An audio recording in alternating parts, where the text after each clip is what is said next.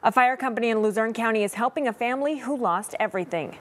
Last week, a family in the back mountain lost most of their belongings as well as two dogs and a cat when their house caught fire.